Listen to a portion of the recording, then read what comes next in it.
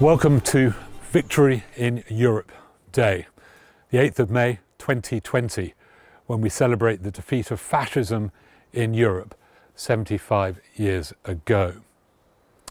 Now, the last time the country was in lockdown, it was in World War II. And I want to talk to you about the home front and then the wider war. First, the home front. What did the war mean for Stowe? Well, first, 1,000 windows had to be blacked out. That took a lot of time.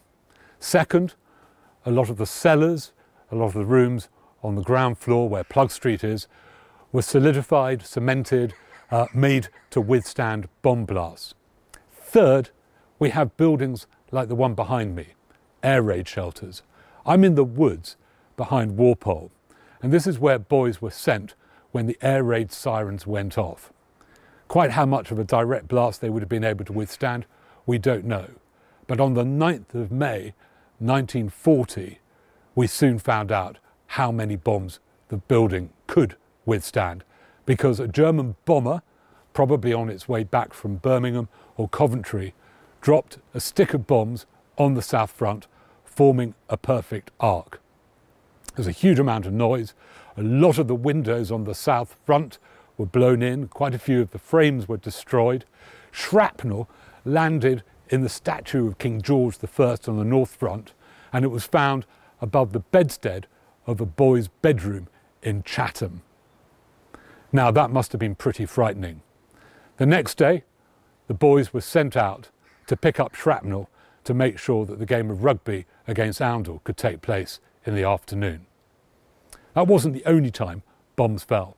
We had several other near misses, but that, that was the closest that Stowe got to being destroyed in World War II. The older boys, the boys who were over 17, enlisted in the local volunteer force. They worked with the, the Home Guard, becoming part of Dad's army. They would patrol the grounds, they would search the temples and the grottos for suspected German parachutists. Other boys were sent up onto the roofs. They were there to make sure that any German incendiary bombs were quickly swept off the roof and sent into the gardens, into the grounds where they were disarmed and became um, redundant. Um, elsewhere in the school, life was all about digging for victory. The Bourbon playing fields were dug up. They were, they were growing potatoes and oats up there. We had haystacks on the south front in order to, to deter enemy planes from landing. Life was very different. There was rationing, powdered eggs, bully beef, petrol rationing. Stowe was quite remote, quite hard to get to. A lot of the staff complained about the journey time and how much petrol they were eating up. 20 members of staff went to fight. The 17 and 18 year olds enlisted in the army. The school roll went down to 460. It must have been extremely worrying times for everyone at Stowe. Now, after we've looked around here in the wilderness behind Walpole, I want to go to Chapel because in Chapel we commemorate the other side of life during World War II. And those, those are the boys who are out fighting, nearly 2,000 of them, and I want to talk about them when we get into Chapel next.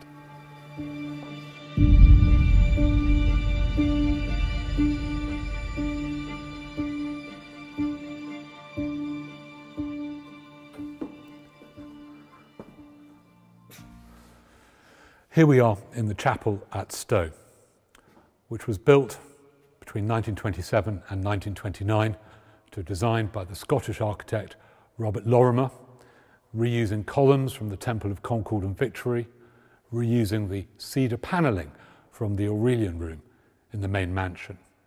But the part of the chapel that I want to concentrate on today is behind me. It's the memorial to everyone who gave their lives in World War II.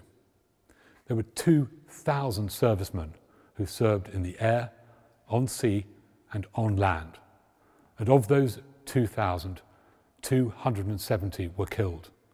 That's a proportion of nearly one in seven of the Old Stoic population at the time. 242 of the Old Stoics who served came back with military decorations. Among them, there were two Old Stoic Victoria Crosses.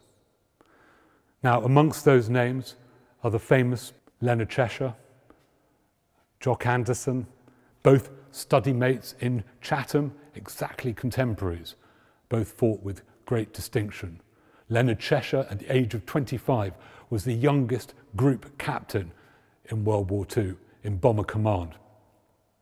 He was the first pilot to fly over 100 sorties over enemy territory.